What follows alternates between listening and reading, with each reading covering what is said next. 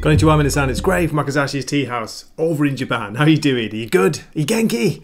I'm good, thanks. I have a review of Spawn, issue 339. It came out today, Wednesday, March the 8th, 2023, and it's still priced at 2.99. This is written by um, Rory McConville and it's got art by Carlo Barberi. So, yes, first of all, check out this cover. I think this is by, is it Simone Bianchi? Simon Bianchi? Bianchi? What a Yankee. I don't know what I'm saying. But yeah, great, uh, great painted image here. I like it. Kind of limited palette, isn't it? Limited colours there. But what is he standing on? Lizards? Snakes? Reptiles? Okay, so what you want to know is is this new issue of Spawn any good? Is it worth buying? Yes, absolutely. Um, I enjoy this very much. It's strange, isn't it, how I've I kind of come round to getting really into Spawn at the moment. I think, and I've been saying this for a while, the writer, Rory McConville, is writing it so well. And also the art by Carlo Barberi really matches the, the story. I think they have a really good relationship, you know, a good creative relationship going on there. They're collaborating so well together. So what's good about the issue, what's great about it is we see Spawn finally kind of explaining the whole dead zone thing. Um, he's working with Haunt, and who else is in here? We've got Sinn and um, a demon called Cadiclus, who's been coming into it quite a bit. They've got the separate story going on. There's some really awesome fantasy style art by Barberi when he's showing the different realms of hell. We see some new characters in here, some very imposing looking characters. There are angels, there are devils, demons, all sorts going on. But yeah, just really enjoyed it. It's, it's another good issue, very solid, and I recommend it. Okay, so, uh, before I, sorry, before I show you my short story summary, let me show you some of the art from inside. Check this out here. Look at this image of Spawn standing in front of a portal. Great, great image there by Barberi. Love it.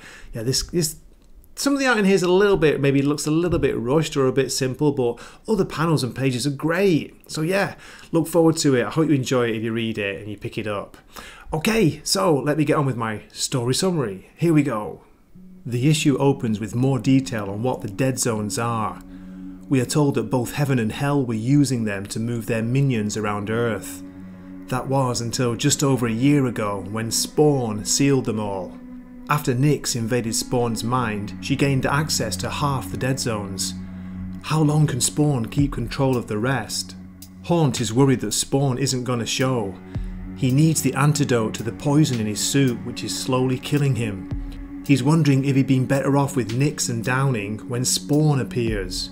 Don't be a fool. Nyx would never give you access to a dead zone. Spawn tells Haunt that there's a dead zone close by and they're gonna use it to get to heaven. Haunt wants the antidote, but Spawn seems more concerned with retrieving a weapon that can drain necroplasm. That's the energy that powers Hellspawn. Haunt isn't happy, but it seems he has no choice as Spawn opens a portal we switch scenes to Hell and we catch up with Sinn and Cadiclus. They've just crossed into the 8th realm. Look at this here, I really like this fantasy style art that Carlo Barberi uses to depict the different realms of Hell.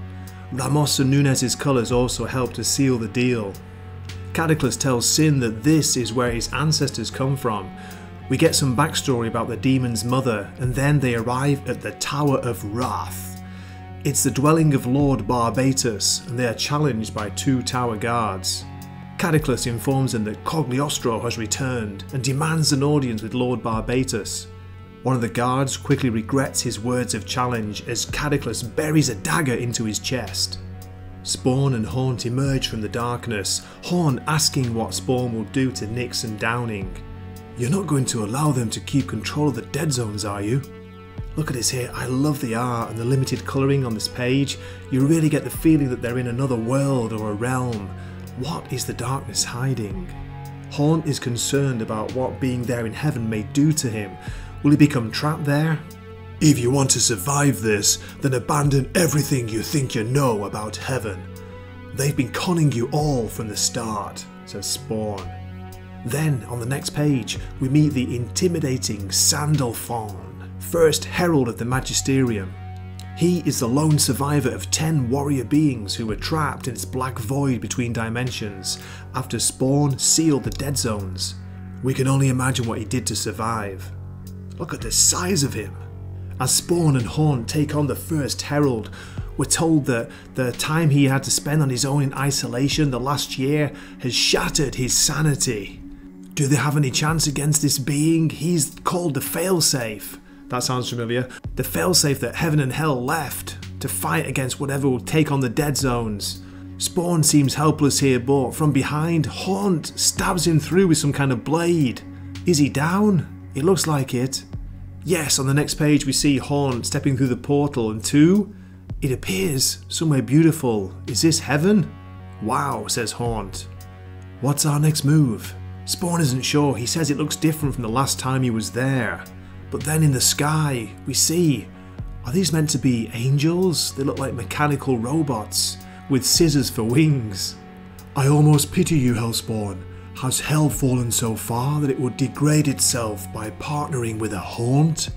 Okay, please let me end my story summary here. There are still quite a few pages to go, and there's a big cliffhanger with this issue, too. Hi, before I finish, I just want to point something out. This is from the Comic Book Roundup review site, and look at this over here. This is this week's releases, Image Comics. There's no listing for Spawn. Now, this isn't the first time it's happened. Think about it. Spawn is a big title. You've got listings for Dynamite Comics. You've got uh, Mad Cave Studios. You know, these are very independent, small companies. But there's no Spawn from Image. Then I went into the page and had a look. Look at this. Over the last six months, there's only been one review from issue 338, which was last month's. I've been reviewing them on the critics uh, rating, sorry, the user ratings, not critics, but they're not showing up because the critics aren't reviewing it. So if you go onto this site, which to be fair is kind of a dying review site, and you look for Image Comics, it won't show Spawn being out. You've got to actually go into the search box, type in Spawn, and then go, you know, find it yourself. It's so weird. It feels like they're, they're almost like boycotting the, the, the title because, you know, it's not a small title, this. Crazy, right? Anyway, back to the uh, variant cover. Okay, I hope you enjoy the review. Here is the variant cover by Kevin Keane. Um, yeah, I think I prefer the main cover. And we have a preview of the next issue, which will be Spawn 340. Look at that, look at Sinn or Cogliostro on the front there. Great looking cover. Okay, so that's it for my review. Um, yeah, please drop me a comment, let me know what you think of the issue. Are you reading Spawn? Which one is your favourite of the four current Spawn comic titles? I'd love to hear from you. And as always, thank you so much for watching. Okay, this is Gray from Wakizashi's Tea House, signing off for the day. Matane.